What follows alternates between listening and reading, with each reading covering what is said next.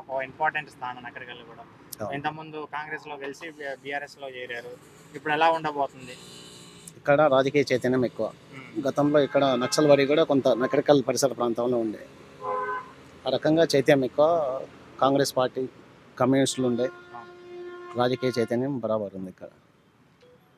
అందువల్ల ఈసారి అంటే ఇక్కడ కమ్యూనిస్టిజం కూడా ఎక్కువ ఉంటుంది కదా సార్. ఉంటుంది. Communist party. పోయింది. టీఆర్ఎస్ రావటం వల్ల. కానీ ఆ భావజాలం ఉన్నది అంతర్లీనంగా ఉన్నది.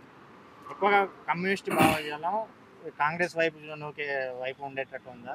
బీఆర్ఎస్ వైపు? కేసీఆర్ ఒక ఫ్యూడల్ లీడర్. ఆయన వల్ల ఒరిగేది ఏం లేదు. వేల ఎకరాలు వందల ఎకరాలకు డబ్బు పంచే నాయకుడు. అసలు ఫ్యూడల్ ఆరు వందల ఎకరాలకి వంద ఎకరాలు పంచినోడు వాడు నాయకుడు అనటము అదొక జాతి దౌర్భాగ్యం అది. బీపీఎల్ అనేది ఒకటి ఉంది. బిలో పార్ట్ పావర్టీ లైన్ ఉన్న వాళ్ళకి ఇల్లు లేకుండా ఇల్లు కట్టేయాలి. పాతిక ఎకరాలు ఉన్నవానికి బియ్యం కార్డు ఉంది. గంటడు జాగలేనివానికి బియ్యం కార్డు ఉంది. వాడు నాయకుడు ఎట్లా అవుతాడు? ప్రజల్ని సమానం చేయాలి? చేసినవాడు నాయకుడు అవుతాడు.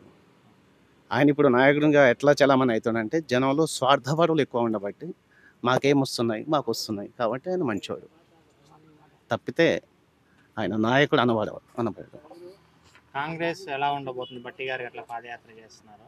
ఎలా హైప్ తీసుకొస్తుంది ఈ పాద పీపుల్స్ మార్చ్ పేరుతో చేస్తున్నారు కదా?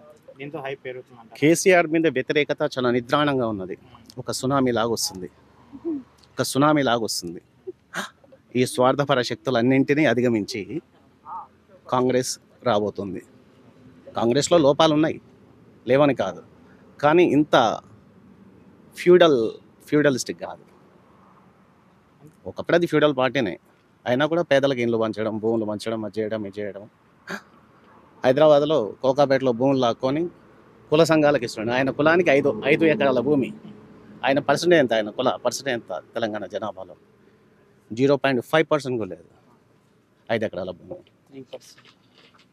ఫైవ్ పర్సెంట్ లేదు. ఏంటది? అని ఏం చేసిండు ఆయన. ఇప్పుడు చనిపోయిన వాళ్ళకి ఏమైనా చేసిండు ఆయన? తెలంగాణ ఉద్యమంలో చనిపోయిన వాళ్ళకి? ఏ అందరిని పక్కన నెట్టేసాడు కదా. ఉస్మానియా యూనివర్సిటీలో ఉద్యమం ఎంత నడిచిందో చెరువు సుధాకర్ నగరకల్లో అంత నడిపించాడు. ఆయన పక్కన నెట్టేసాడు వేరే వాళ్ళకి టికెట్లు ఆయన తొత్తులకు ఇచ్చుకోండి.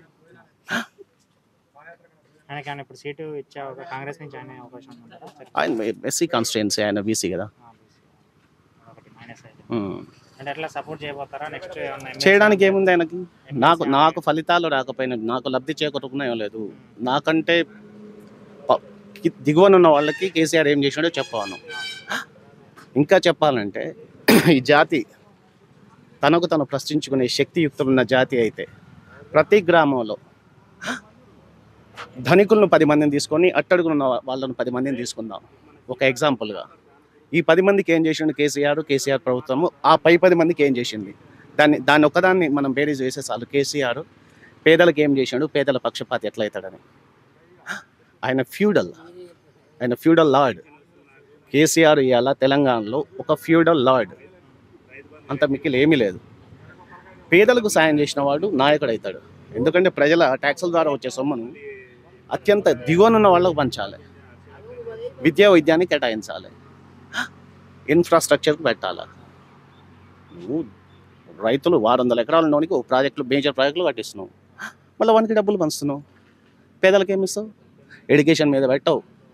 కాలేజీలో సరైన స్టాఫ్ ఉండదు. ఉస్మానియా యూనివర్సిటీలో స్టాఫ్ ఉందా? ఏ యూనివర్సిటీలో ఉంది? ప్రజలు తొత్తులుగా మా ఉన్నన్ని రోజులు తమ స్వలాభం చూసుకున్న రోజు ఉన్నన్ని రోజులు వాళ్ళ పబ్బం నడుస్తూనే ఉంటుంది.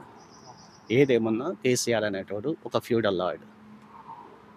తన వల్ల తెలంగాణ జాతికి ఎలాంటి ప్రయోజనం లేదు. సొమ్ముంది వాడుకుంటుండు. అంటే ఇది కాంగ్రెస్లో లీడర్ల విభేదాలు ఆయనకు ప్లస్గా కలిసి వస్తున్నాయి కదా. విభేదాలు ఏముంటాయి? విభేదాలు లేకుండా ఎట్లా ఉంటాయి అంటే ఇదేమన్నా ఇదేమన్నా అరిస్టోక్రాట్ ఇది రా ఇది ఏమన్నా రాచరికమా? ప్రజాస్వామ్యంలో మాట్లాడుకుంటారు. విమర్శ ఉంటుంది. ఆయనకి ఎవడు ఎదురు మాట్లాడద్దు అది ప్రజాస్వామ్యం ఎందుకైతే? రాచరికమైన కప్ప చెప్తే అయిపోద్ది కదా కేసీఆర్కి. అక్కడ మోడీకి అప్పచెప్పి ఈయన కప్ప చెప్తే ఈయన సంస్థానం అయిపోతే ఆయన కింగ్ అయిపోతాడు. ఆయన చక్రవర్తి అయిపోతాడు ఈయన సామంత రాజు అయిపోతాడు. ఇక ప్రజాస్వామ్యం ఎందుకు? పార్లమెంటు అవన్నీ కూలగొట్టుకుంటే అయిపోద్ది. మాట్లాడుకుని ఉండకు విభేదాలు లేకుంటే ఉంటాయి చర్చలు ఉంటాయి కదా విమర్శలు ఉంటాయి కదా ప్రజాస్వామ్యంలో మన దేశానికి తెలియదు. ప్రజాస్వామ్యం ఎక్కడ ఫరిడ వెళ్ళిందో అక్కడ ఏమేమి చర్చలు నడిచినాయో తెలుసుకునే జ్ఞానులు లేరు. చదువు ఉన్నది కానీ ఇంకా మనం చీకటి యుగాల్లోనే ఉన్నాం. తెలివైన వాళ్ళు సైతం ధనికులు సైతం. రాజగోపాల్ రెడ్డి గారు లాంటి వాళ్ళు సీనియర్ నాయకులు కాంగ్రెస్లో ఉన్న సీనియర్ నాయకులు అట్లా చాలా చేశారు. డబ్బు డబ్బు కోసమే కదా? ఇంకింత ఎదగాలి ఇంకింత ఎదగాలి. కాంగ్రెస్ మైనస్ చేస్తే బీజేపీ ద్వారా నేను మరింత ఎదగొచ్చు నేను సీఎం కావచ్చు అనే స్వలాభం కోసం స్వార్థం కోసం. అంటారా బీజేపీకి తెలంగాణలో? బీజేపీకి తెలంగాణలో నేను చెప్పాను కదా చైతన్యం ఉంది. ఈ మధ్య కొరవడింది ఇప్పుడు ఉత్తర తెలంగాణ జిల్లాలో నక్సల్ బరి పరిడ వెళ్ళింది ఓ రోజు. అలాంటి చోట మత ఛాందసం ఇలా పెచ్చరిల్లింది? అయినా కూడా మార్పు అనేది ఆ కమ్యూనిజం ఉన్న భావజాలము ఏదో రోజు పనిచేస్తుంది ఖచ్చితంగా. పునరాలోచన చేస్తారు. మంచి రోజులు వస్తాయి. దేశానికి మంచి రోజులు వస్తాయి. కేసీఆర్ పోతాడు అందరు పోతారు. మంచి వాళ్ళు వస్తారు. అంతో ఎంతో దేశానికి కాంగ్రెసే మేలు చేసింది. ఈ మాత్రం ప్రజాస్వామ్యం ఈ దేశంలో ఫరిడ వెళ్తుందంటే బీజేపీ లాంటి మనవాద పార్టీల వల్ల ఇలాంటి నియంత్రణ వల్ల కాదు. కాంగ్రెస్ వల్లనే.